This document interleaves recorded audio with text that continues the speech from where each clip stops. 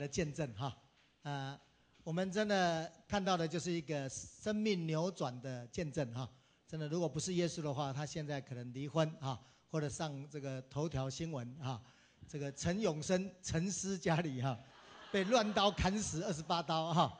好，所以我真的觉得很感恩哈。这个我觉得我们每一个月能够听到一个生命的见证哈。这个其实我我盼望这个我们当中很多人。你都有机会在这里做见证了，阿门！来跟你旁边讲说，下一次换你做见证了，好，好，真的遇见耶稣啊，你的人生就会不一样。好，来跟你旁边讲说，遇见耶稣，你的人生就会不一样。来跟他讲一下，啊，真的是这样子啊！我那一天还听到一个很精彩的见证，有机会跟你们分享。我们一个侍奉学校的学生啊，他跟着我去上九行的课。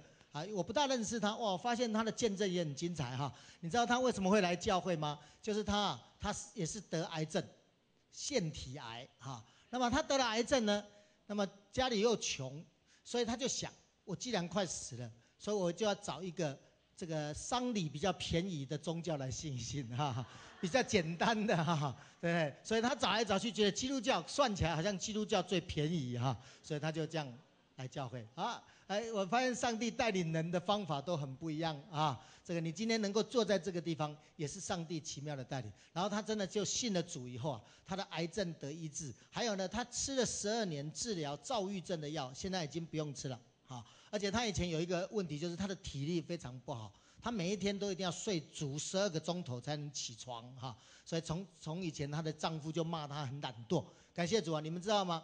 好，刚刚提到，当圣灵住在你里面的时候啊，你的必死的身体会活过来。哦，他现在有办法，每天三点钟起来祷告。哇，你看到，来，我们把荣耀归给上帝。好，所以再跟你旁边讲一次，遇见耶稣，你的人生就不一样。来跟他讲一下。我们从升华的见证里面体会到一件事情，哈，就是如果你的人生要改变，其实最重要的不是改变你的环境，而是改变你的生命。很多人都以为我只要换一个环境，我的人生就改变了。其实没有的啊！你看到升华，他也曾经想要我到了英国，到了瑞士，会不会就改变了？好，我换了一个一个家，会不会就改变了？哈，不会的，弟兄姊妹。如果你的生命有问题，你换一个丈夫也不会改变。好，如果你的生命有问题，你换一个小组也不会改变，你换一个教会都不会改变。好，如果你的生命有问题，你最重要的不是改变环境，而是改变生命。来跟你旁边讲这句话吧，你要改变你的生命，不是改变你的环境。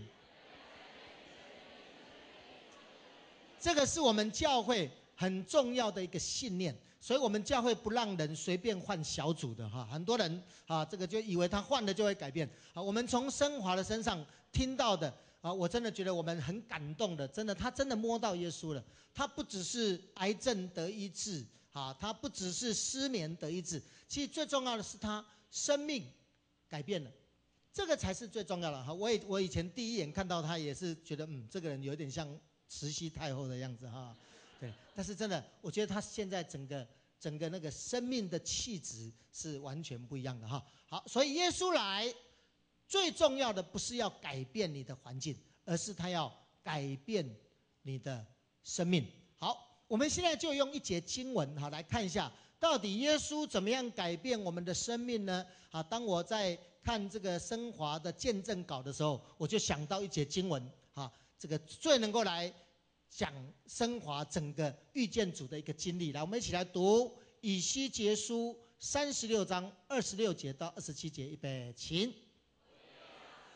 你们一个心心将心灵放在你们里面，又从你们的肉体中除掉实心，赐给你们肉心，我必将我的灵放在你们里面，使你们顺从我的律例，谨守。遵行我的典章，哇！这段经文是我很喜欢的一段经文。我在说，信耶稣不只是要使你病得医治，也不只是要使你的环境得到解决。信耶稣，你从这段经文看到，当你认识上帝呢，会有在你生命里面会有两个祝福。第一个祝福是什么呢？我们再读一次，预备来，我要赐给你们一个新心，又从你们的肉体中除掉实心，赐给你们肉心。好，第一个，上帝告诉你，你认识上帝，第一个给你的祝福是，他要赐给你一个什么？新的心。我也要赐给你们一颗新的心，新的心。好，这一颗新的心呢，告诉我们就叫做肉心。好，他说我们以前叫什么心？实心。他要除掉我们里面的实心，然后给我们肉心。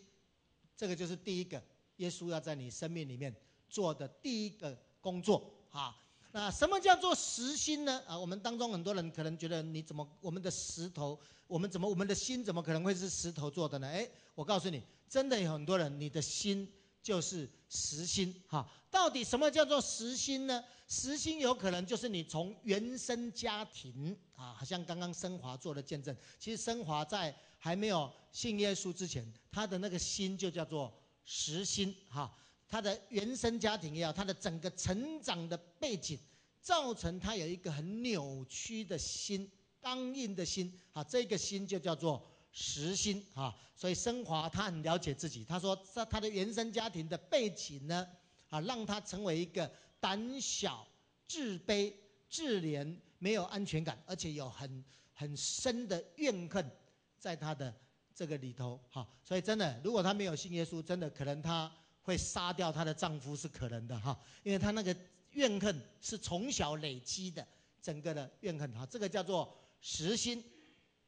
我们每一个人你都要留意一下，你的生命里面有没有实心？如果你是一个带着实心的人，你知道一个有实心的人呐，他看人都是用很很错误的眼光，很偏差的眼光看他。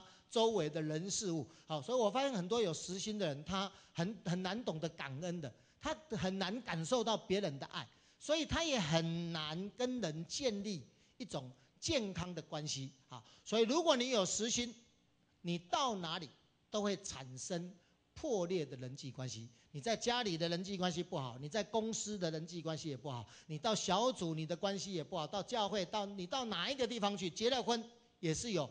破裂的人际关系，所以我们人很重要的就是你要除掉你的实心呐，好，否则呢啊，这个刚刚升华讲到说，当他结婚以后，又掉到另外一个深渊，其实跟环境无关，而是它里面有一个实心啊。你看，所以如果你有实心，他结了婚以后又出现问题了，啊，他就感觉到那个阴影会回来了，啊，童年时期的那股黑暗又回来了，而且发现变本加厉，哈。所以他说他常常躲在棉被里面苦读咒诅，甚至会自残。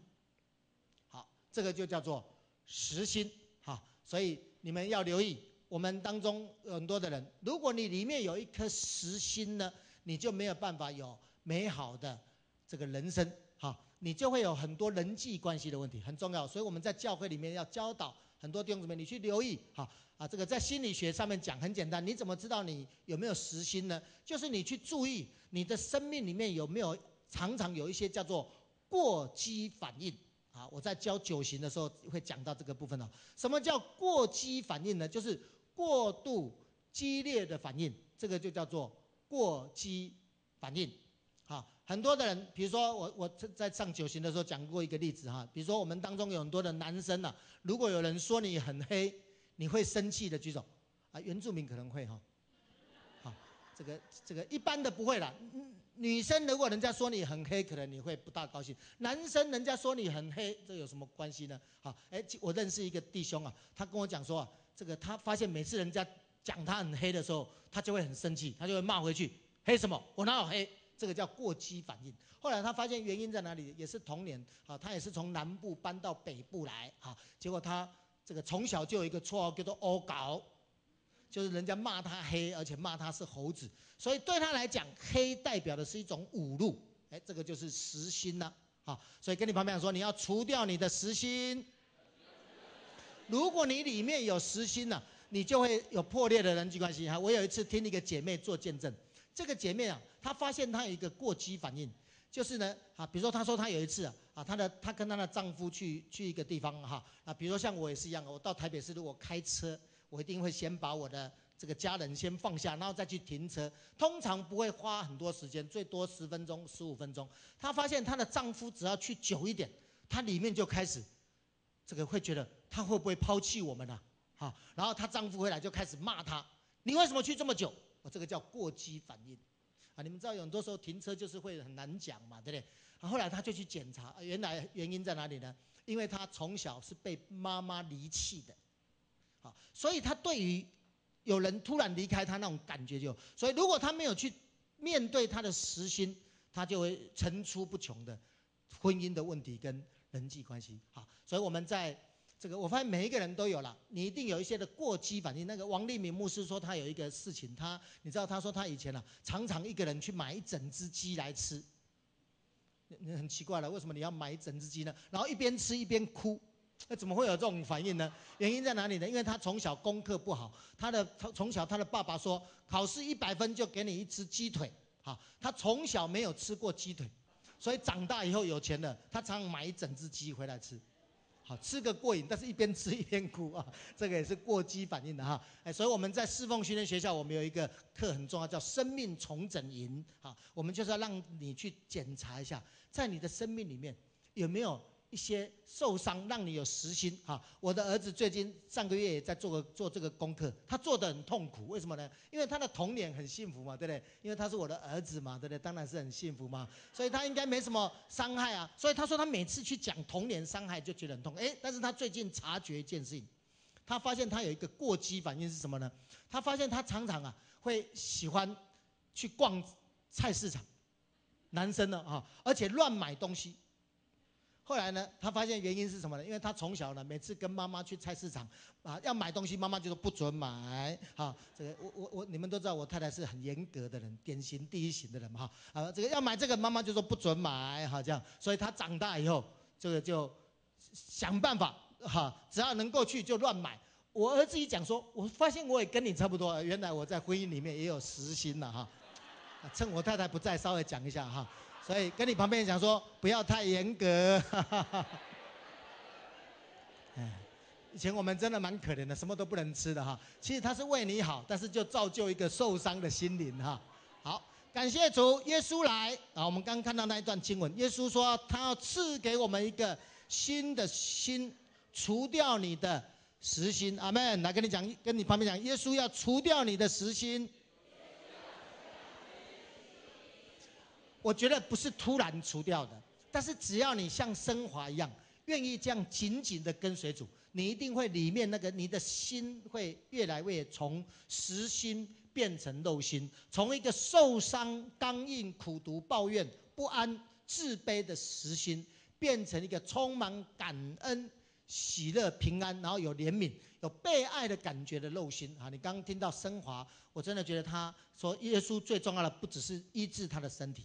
他改变他的思心思哈，你看他能够从不同的角度去看他周围的人哈，这个这个是我觉得很重要的哈。所以他说主呢，这个经历病得医治以后，他刚提到他里面真的每天都有满出来的感恩，很想跳舞哈，这个唱歌哈，这个这个每一天呢都好像获得重生一样的喜乐。感谢主，我觉得上帝已经开始在他生命里面使他。实心变为肉心哈，所以你听到他的见证，他提到说啊，虽然受洗以后，其实没有就一帆风顺。我们当中如果有很多的人，你希望信耶稣以后，你就从此不会再遇到困难，那你真的是搞错了，这是不可能的，因为这样你不会成长啊。这所以我在说，耶稣最重要的不是改变你的环境，他改变你的心哈。所以他说，其实信主以后呢，其实都没有改变了，他仍然大他的这个丈夫六岁。她的婆婆仍然是那个样子哈，哎，这个家庭还是一样，但是她发现她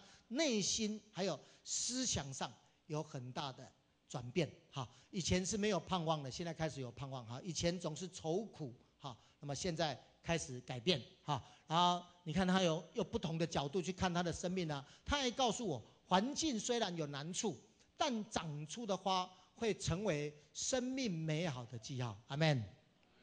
是的，你我刚刚他提到了他的童年造就他什么性什么样的长处啊？什么长处？吃苦耐劳。哎，这个很好啊。我发现我就没有吃苦耐劳的精神了，因为从小太幸福了嘛，哈。所以这个跟你旁边讲说，环境的艰难会成为美好的记号。来跟你旁边讲一下。所以信耶稣最大的好处就是上帝要给你一颗肉心，一个新的心哈。我那一天听到一个见证，觉得很不错，跟大家分享一下哈。这个这个人呢，一个美国人叫布里恩，他的爸爸是一个医医技师哈。怎么在孩子出生不到一年的时候，跟太太离婚啊。那因为他不愿意付付支付这个赡养费啊，所以他就在他这个布里恩有气喘。才不到一岁哦，他就每天给他注射艾滋病毒，哇，有这么狠的爸爸哈！后来东窗事发，被判终身监禁哈。但是呢，这个布里恩呢，从此就每天都要吃药丸、打针哈。那么通常一天要挨上三四针，这么小就开始哈，吃二十颗药丸哈。所以当他七岁的时候，就开始失去听力。好，那父亲的残忍呢，让他从小。体会到世界的残酷啊！这个人如果没有信仰，包准一定变成实心啊！你我们刚刚听到这个这个升华的妈妈，哇，真的蛮蛮凄惨。这样的人一定会变成有一颗实心哈啊！但是很感恩，信仰呢，却带他远离本来可能会有的愤世嫉俗。有人问他：难道你不恨你的父亲吗？他却回答。我认为救恩是为每个人预备的，所以在夜深人静的时候，他会主动为父亲的得救来祷告。虽然他们没有见过面，他也没有感受到他爸爸的温暖。哈，很奇妙的，上帝在在他生命工作。三年前开始，他的血液里面再也检验不出艾滋病毒。哈，而且两年前呢，他甚至就开始有女朋友。哈，所以他讲了一句话，他说：“你可以把那些问题都看成带来祝福的机会。”或者是让这些问题来控制你。感谢上帝，我真的觉得我们信了主以后，我们最大的一个改变就是你可以得着一个新的心，叫做肉心，这是第一个祝福。阿门。来跟你旁边，恭喜你已经得着一颗肉心了。好，跟他讲一下。好，第二个呢？耶稣第二个要祝福我们的，除了给我们一个新的心之外呢，他说什么呢？我也要赐给你们一颗新心啊！来，我们读白色的部分，将什么新的灵放在你们里面？这个新的灵是什么呢？来，我们再读下面这段白色的话，他说：“我必将什么我的灵放在你们里面。”哇，这个是更大好消息了。耶稣不但是给你一个新的心。他给你一个新的灵，这个新的灵是圣灵住在我们的里面。我要将我的灵放在你们里面。哇，这个是极大的恩典。信耶稣以后，你有一个极大的恩典，就是你过去是被邪灵充满，但是今天你可以被圣灵充满。哈，圣经有一节经文说，我们以前呢是随从今世的风俗，顺服空中掌权者的首领，就是在。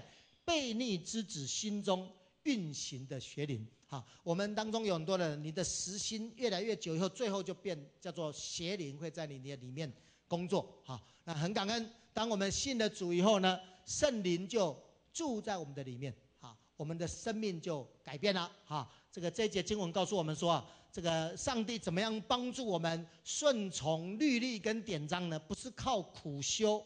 很多人常常说：“哎，我很佩服你们基督徒。其实基督徒有什么好佩服的？谁在我们的里面工作啊？圣灵在我们的里面工作，让我们能够顺从他的律例，遵循他的典章，让我们里面愿意，而且有力量去遵循神的律例。好，我看到升华的改变，就是他他讲讲一句话哈，他说：当他遇到任何困难的时候，他现在开始不要再靠自己了，而是顺服圣灵。”好，所以你的人生要怎么样可以改变呢？你要学习叫做顺服圣灵。来跟你们讲，你要顺服圣灵。好，这是一种很轻省的生活哈。升华提到说，他以前真的一切都靠自己哈，但是很累。现在他知道他不再是孤军奋战了哈，只要他紧紧抓住神哈，耶稣要伴他一生哈。因为圣经里面这句话，他说：“我必将我的灵放在哪里？”不是放旁边，放在你的里面啊，放在你的里面啊。所以他说啊，他经历到圣灵真的随时在他的里面，陪他走过失落、痛苦、孤寂、没有盼望的日子哈。然后神对他讲话说：“你过去的眼泪都不会白流。”哈，所以他的见证最后他说了：“好，我的过去如何已经不是最重要了哈，遇见耶稣，一生改变才是最重要的哈。”所以真的，我们等下来唱一首诗歌，叫做《耶稣住在我的里面》。好，真的这首歌不断的说：“耶稣住在我的里面，就是我一生最大的祝福。”哈，然后尝过主恩的滋味，就没有什么比这个更甘甜。一生最大的祝福，这是耶稣给你的一生最大的祝福，就是耶稣住在你的里面。来跟你旁边说，一生最大的祝福就是耶稣住在你的里面。来跟他讲一下。世界不再吸引我，阻碍胜过全所有。一生最大的祝福就是有耶稣住在我们的里面，因为耶稣在我们的里面，我们的生命从此海阔天空。好，因为不论环境顺利，主的恩典够我们使用。因为耶稣在我们的里面，我们能够勇敢面对明天，因为知道。困难都会过去，好，我们要定睛在天上的荣耀冠冕，好不好？我们在一起，我们一起起来唱这首诗歌，好不好？来，我们很棒的一首诗歌啊！如果你已经体会过了，我们更要大声的来唱；还没有体会过的，你就跟耶稣说：“是的，耶稣欢迎你住在我的里面，我的生命想要改变。”我们再来唱这首诗歌，预备来，唱过主恩的滋味，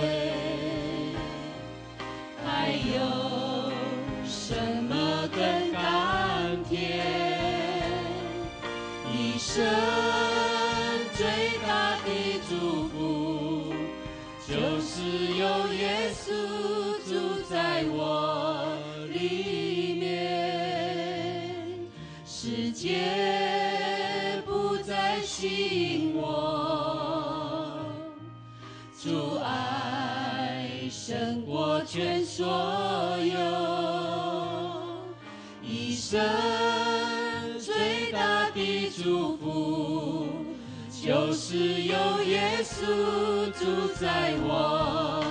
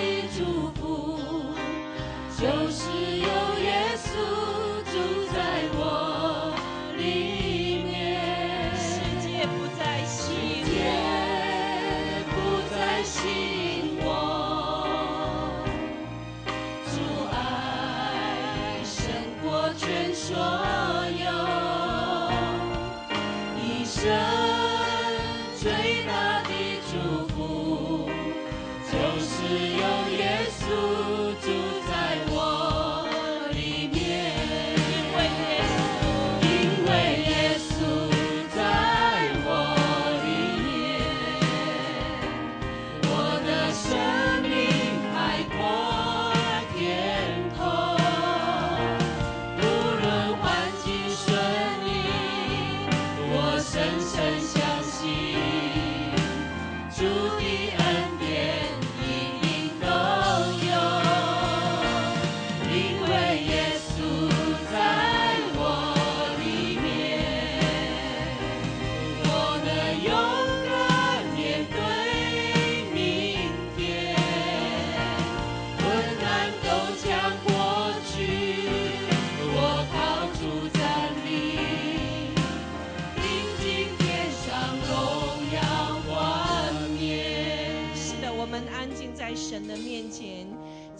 弟兄姐妹，还有今天在我们当中的朋友们，是的，这首诗歌很清楚的告诉我们，我们一生最大的祝福是拥有耶稣，是耶稣住在我们的里面，把一个新的心、肉心，还有他的灵放在我们的里面。是的，亲爱的弟兄姐妹，我们今天从升华的身上看见。因为他的里面有耶稣，所以他整个生命扭转。请我们当中的朋友们，你愿意接受耶稣在你的里面吗？你渴望耶稣在你的里面来扭转你的一生吗？如果我们当中我们的朋友，你真的愿意？让耶稣住在你的里面，来扭转你的一生，就像升华一样，尝到主恩甘甜的滋味的，请你举起你的手来。这是一个很重要的决定。